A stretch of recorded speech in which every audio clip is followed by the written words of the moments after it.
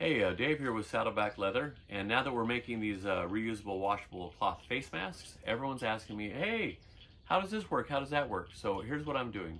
I, I'm gonna answer this question. Uh, how long is it good for before I need to reuse or start redoing it, okay? Uh, before I need to wash it, before, how long is it effective? And that all depends on you and your situation. So there are eight things that, that impact how long it's good for if it gets pressure, if you have a, a reusable, or if you have a disposable and it's kind of a, a paperish sort of thing, um, and it gets crushed, those papers gets crushed, the pores get crushed, and then it's not as effective anymore. So if you're wadding it up, that sort of thing, if you're closing the pores. So think about it this way. You can kind of see through a little bit of light through here, through this is tightly woven cotton. By the way, only get tight, tightly woven cotton, two layers of tightly woven cotton. If you're not getting that, if you're getting polyester and you're getting um, other cotton poly blends or cotton nylon, whatever thing you're getting that looks good, it's not protective. The CDC says to only use cotton.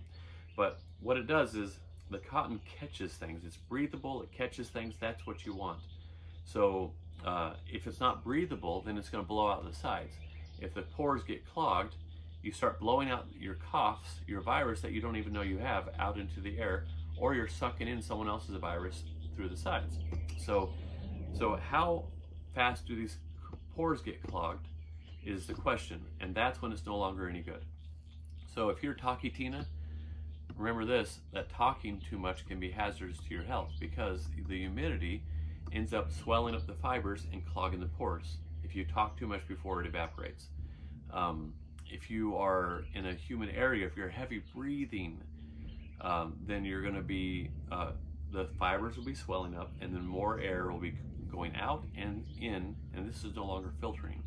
Of course, the pressure, if you're in a dusty environment, if you're working, uh, doing sheetrock or construction or uh, mowing yards or whatever, if there's dust, it's clogging the pores too. So it's, you need to change it more often. Um, if you live in New Mexico, uh, it does that.